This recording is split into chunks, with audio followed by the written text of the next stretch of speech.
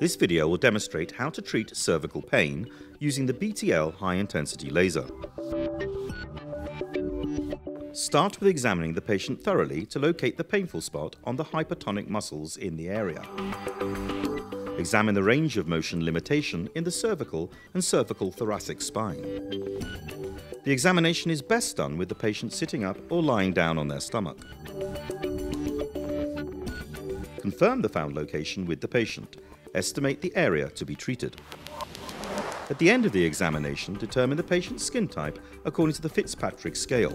In case of type 4, 5 or 6, see the general guide to adjust the laser parameters.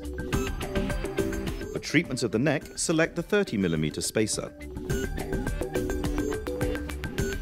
Select the protocol cervical pain analgesia on the main unit. Remember to enter the defined treatment area.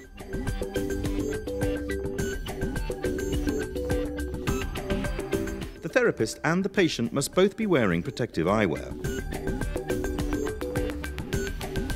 In the analgesic phase, move the applicator along the skin surface in a spiral motion. Starting about 5 to 7 centimeters from the most painful spot, with the most painful spot in the center. Keep static in the central, most painful spot for about 2 to 3 seconds.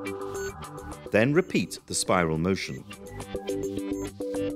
Continue until the therapy time is up.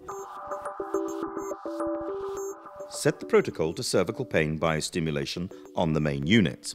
Again, be sure to put in the correct size of the area. To reach the proper biostimulation effect, move the applicator in a scanning motion of medium speed.